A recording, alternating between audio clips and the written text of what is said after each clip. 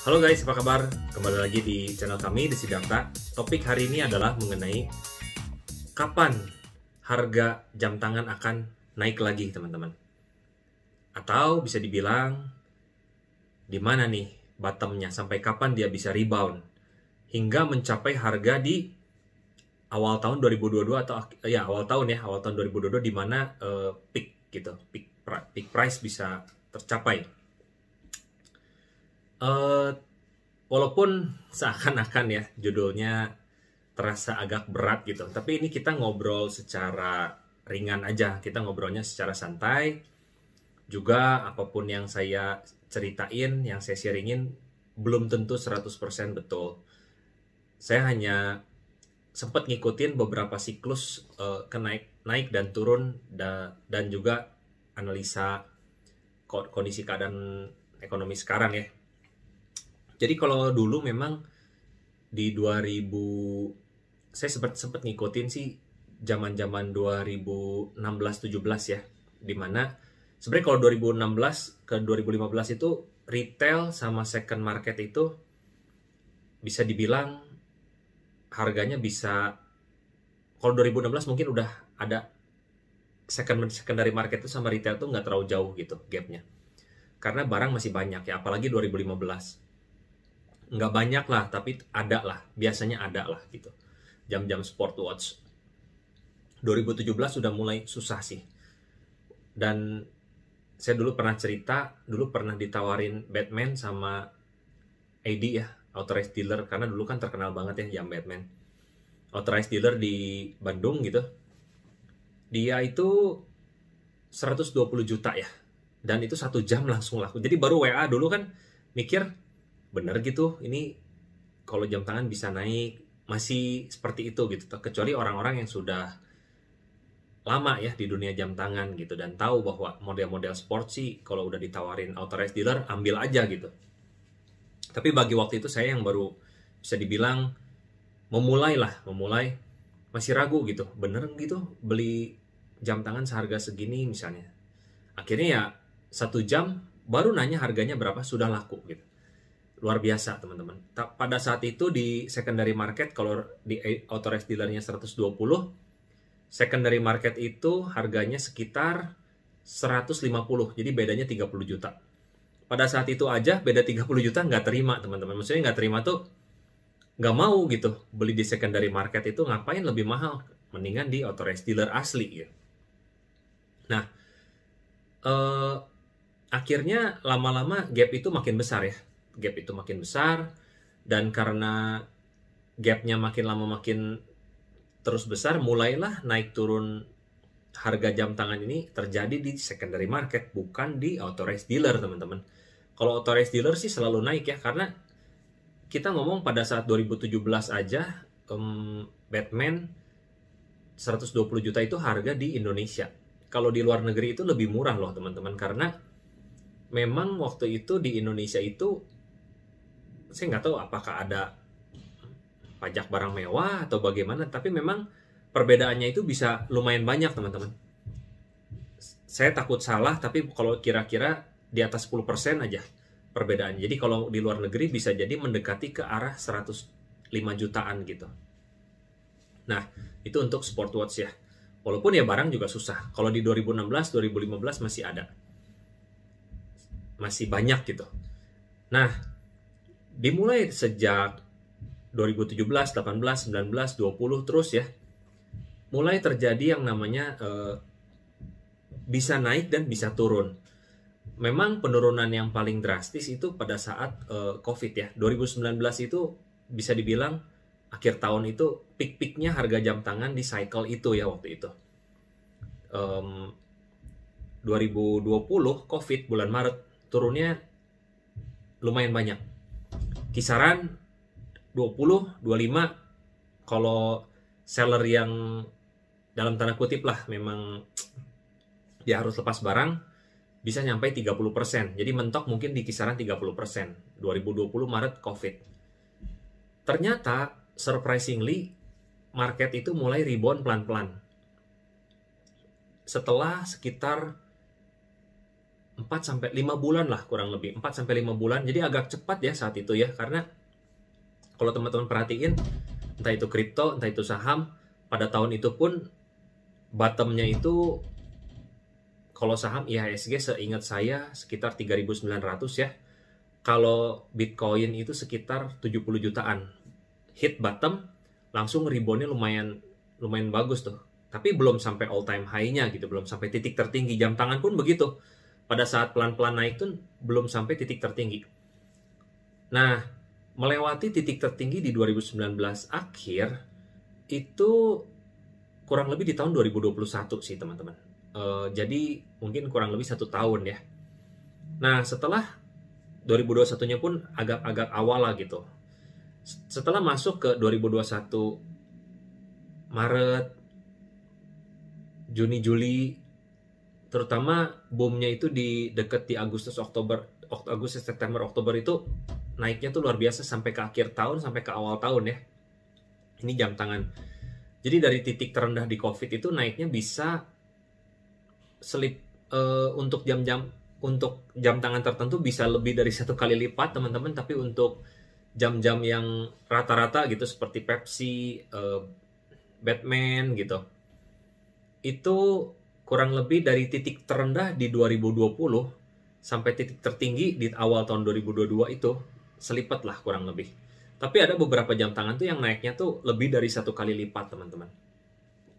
Nah, sekarang ini sudah turunnya banyak ya teman-teman. Kalau saya perhatiin udah 30% bahkan ada yang lebih dari 30%.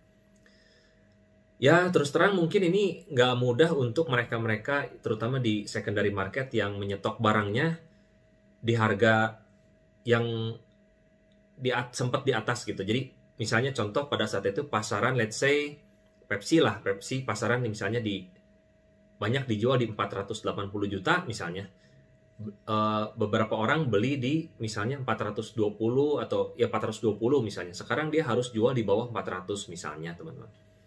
Itu jadi cukup berat gitu kondisinya ketika mungkin beberapa seller membutuhkan likuiditas. Tapi kalau yang belum membutuhkan mungkin masih bisa ditahan gitu kan bagi mereka yang memang kuat gitu dananya. Nah, pertanyaannya kan gini. Berapa lama nih sampai titik balik nanti kita mau ke harga naik lagi.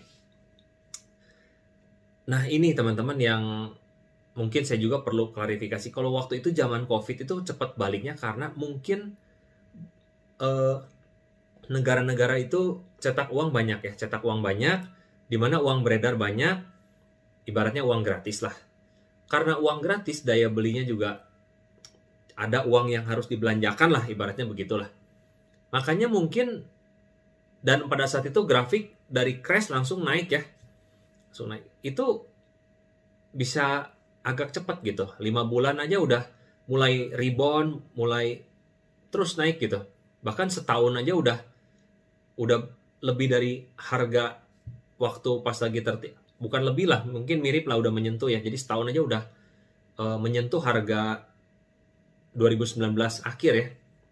Berikutnya tembus harga 2019 akhir tuh.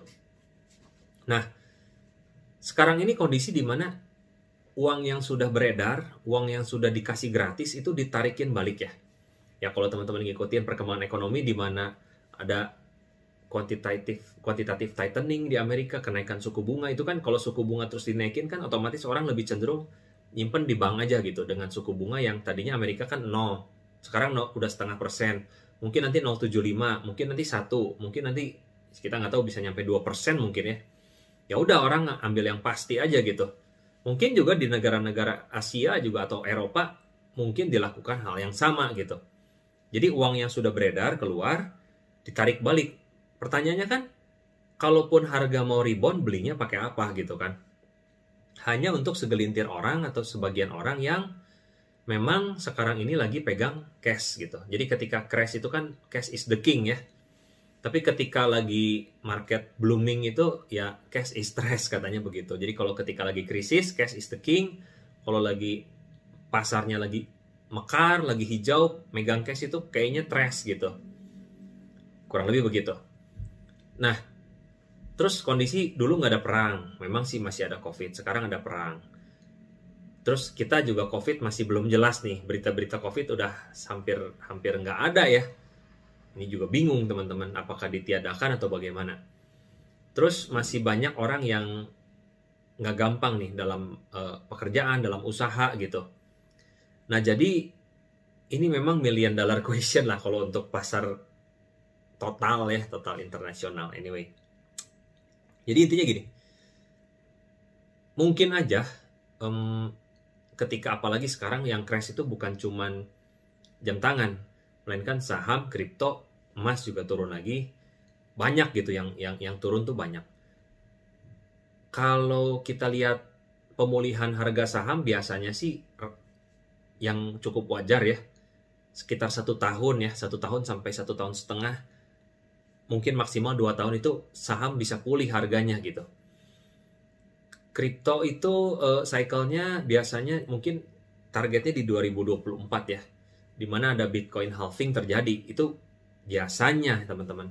Jadi mungkin uh, paling cepat pun kalau kripto pulih, uh, tapi kita nggak tahu ya apakah ini kondisi udah terjadi atau kalau maksudnya udah berbeda nggak karena adopsinya kan beda.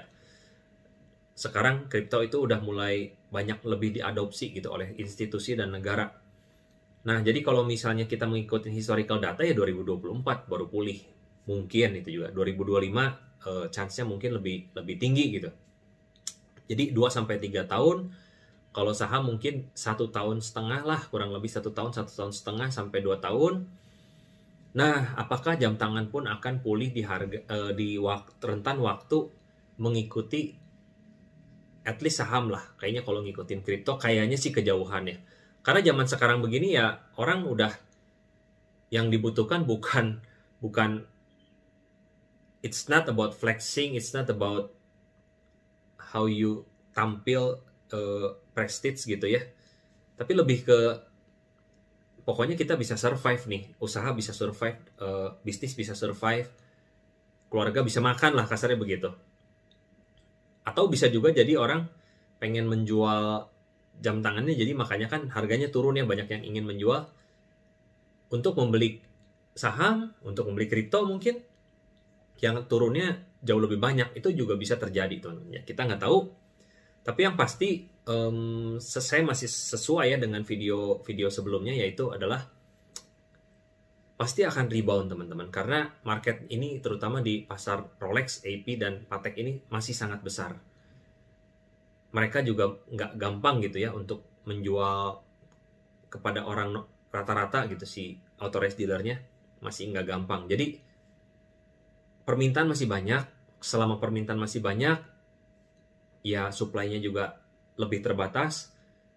Harga pasti masih akan lebih naik lagi gitu. Dari harga terakhir peak di awal tahun 2022 jadi teman-teman nggak usah khawatir. Jadi tadi ya kalau paling cepat kapan kalau mengikuti COVID ya lima bulan sampai satu tahun itu bisa udah mulai naik gitu ya. Tapi kalau mengikuti kita crashnya ini lagi bareng-bareng semua, mengikuti saham mungkin bisa setahun setengah, bisa dua tahun. Kalau mengikuti kripto mungkin bisa dua atau tiga tahun gitu. Ini yang terburuk ya teman-teman. Mungkin nggak lebih cepat mungkin ini kira-kira uh, range normal gitu. Atau kalau lebih lama lagi, who knows kalau amit-amit ya teman-teman perang terjadi dan lain-lain amit-amit ternyata makin makin kacau makin chaos. Tapi kan itu berarti semua juga kacau gitu. tapi kita doain enggak lah teman-teman tidak terjadi ya. Kita juga nggak mau itu terjadi gitu. Sama-sama berdoa gitu. Mungkin itu aja teman-teman. Jadi eh, bagi teman-teman yang kalau lagi turun gini anda masih punya barang anda bisa hold hold teman-teman. Karena ya pasti akan ada rebound. Baru kalau mereka yang baru beli di harga tinggi di antara awal tahun atau akhir tahun kemarin, Anda sebisa Anda hold, Anda hold. Kecuali Anda sangat-sangat urgent memang butuh likuiditas untuk hidup ya itu susah ngomong teman-teman. Apalagi kalau Anda jual rugi sayang sih teman-teman karena nanti uh, tetap punya potensi naik gitu. Sejauh hitungan saya sih tetap walaupun Anda depositoin dengan uang yang sama gitu ya. Dalam jangka panjang so far ya kalau sekarang kita lihat deposito 2-3 persen lah kurang lebih um, sering kali lebih tinggi kenaikan luxury watch ini teman-teman daripada deposito. Tapi ya itu berdasarkan analisa aja ya. Saya nggak tahu apakah ini terus bisa dipakai di kemudian hari. Cuman ya kalau anda belinya pas peak lagi tinggi tingginya itu itu saya nggak tahu. Tapi kalau anda beli di harga sekarang sih udah pasti jauh lebih menang cuman ya tetap sih misalnya let's say harga paling tinggi se sejauh yang saya hitung ya tetap lebih tinggi luxury watch sih dari tapi saya takut salah juga gitu. Maksudnya ini bukan untuk ajakan untuk jadi beli gitu bukan. Tapi lebih ke yang pernah saya hitung aja informasi biar anda ada gambaran aja seperti itu aja sih teman-teman. Jadi video hari ini yang saya pengen sharing itu aja. Eh, nggak usah khawatir karena saya juga tahu ada beberapa temen ada beberapa ya kolega lah gitu ya yang ini turun sampai kapan ya ini turun bisa naik lagi nggak bisa. Terutama mereka yang udah belinya di harga agak-agak pucuk sih teman-teman. Harga yang udah cukup tinggi ya let's say.